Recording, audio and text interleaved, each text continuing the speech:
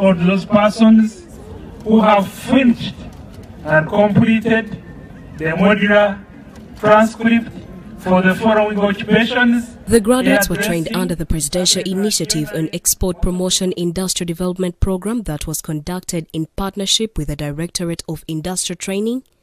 The graduation took place on Saturday at Certificates Acheka Stadium in industrial City. ekigambo training The graduates completed their modular transcript for the following occupations hairdressing, carpentry and joinery, motor vehicle mechanics, piggery, cattle farming, tailoring, rabbit farming, coffee farmers, poultry farmers, bricklayer, renewable energy, soap maker, juice processing, leather design, motorcycle mechanics, book binders, photography, among others. According to Kagonyera Francis, the deputy in charge office of the President Advisory Committee on Exports and Industrial Development, this was the second graduation under the program. Number two, this is what we call social economic transformation, a principle in an area. Now, what is social economic transformation? Okuzaha, eh, I speak English only. Going on village level, going on a grassroots, bringing up people who are not doing anything, who are doing some work but are ignored.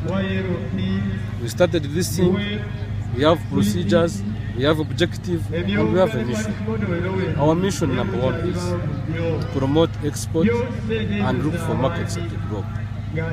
But you cannot look for a market for things you don't have. We have to go down on grassroots to empower people, to ensure that we give them, we teach them, we train them, we educate them on how, which processes should use to ensure they produce quality seeds.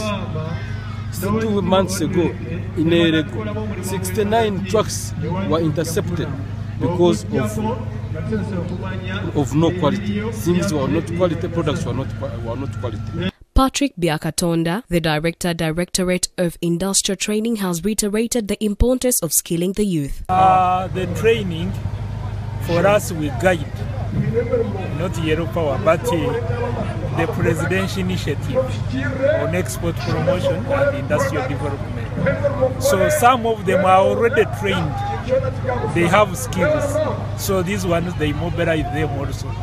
And but they lack what? Certification so industrial training if you are there you have skills please you join this group that you are certified Leaders have called for teamwork and cooperation among all stakeholders to ensure success of the program in a bid to fight unemployment in the country. eh, waitu We thank Mr. Rawogo for the job well done.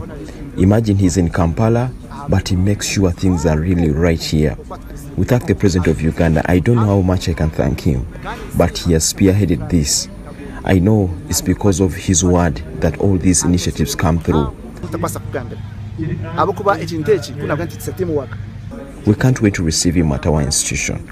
This is one of the best moments for us. western uganda Ndikutaraga ebyaro byaki ebyaro bya western uganda Story compiled by Abdul Karim Sengendo for the news in Mbarara.